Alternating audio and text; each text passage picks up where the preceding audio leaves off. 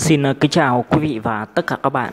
Chào mừng các bạn đã đến với kênh Tiểu sử Người nổi tiếng. Trong bản tin ngày hôm nay sẽ cung cấp cho các bạn thông tin phản ứng của Đan Trường sau khi vợ đại gia tuyên bố ly hôn.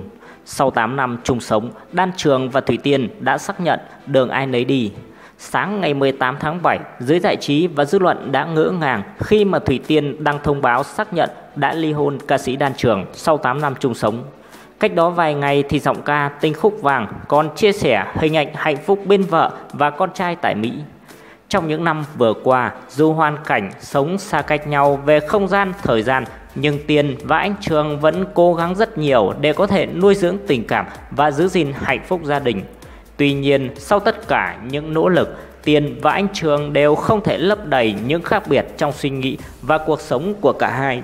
Nếu cứ cố gắng níu kéo khi mà không có được tiếng nói chung thì cuộc sống vợ chồng không thể nào xây dựng nên được một mái ấm hạnh phúc, một gia đình đúng nghĩa.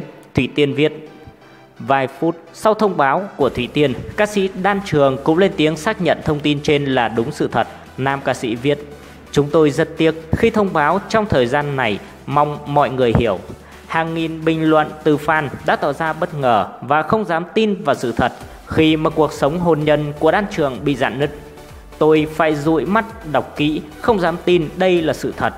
Dù rất buồn và tiếc, nhưng nếu đã không thể hòa hợp được với nhau thì mỗi người nên chọn một con đường riêng. Dù thế nào thì vẫn luôn yêu mến anh chị là những bình luận từ khán giả. Đan Trường kết hôn với doanh nhân Thủy Tiên vào năm 2013.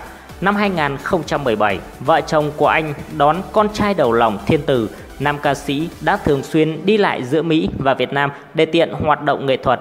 Nhiều năm qua thì Đan Trường và Thủy Tiên đã được xem là cặp đôi đẹp nhất nhì showbiz Việt sau khi sinh con trai thiên tử. Gia đình của nam nghệ sĩ ngày càng được fan yêu mến nhờ cuộc sống vợ chồng hạnh phúc luôn truyền năng lượng tích cực đến khán giả. Thời điểm tiết lộ sẽ kết hôn với Thủy Tiên, Đan Trường đã từng nhận không ít những ý kiến trái chiều, bình phẩm về nhan sắc của bà xã so với anh. Khi đó thì để bảo vệ vợ mình, giọng ca đi về nơi xa đã chia sẻ thẳng thắn. Đừng so sánh giữa cái đẹp và cái xấu vì cũng có nhiều người lấy đẹp rồi chia tay. Ở đây anh chọn là những gì anh cảm thấy hạnh phúc nhất.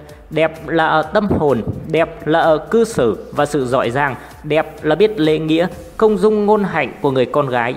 Nếu chỉ biết nhìn chọn cái đẹp cho bề ngoài thì thử hỏi một ngày nào đó người ấy xấu xa đi thì mình còn yêu được nữa hay không? Trước khi ly hôn tại Mỹ thì vợ chồng Đan Trường sống tại căn biệt thự sang trọng như khách sạn 5 sao, diện tích 4.000 m2 với rất nhiều tiện ích. Anh cũng sở hữu nhiều siêu xe trị giá hàng chục tỷ đồng. Cảm ơn các bạn quan tâm theo dõi. Các bạn đừng quên bấm like, đăng ký kênh để ủng hộ chúng tôi.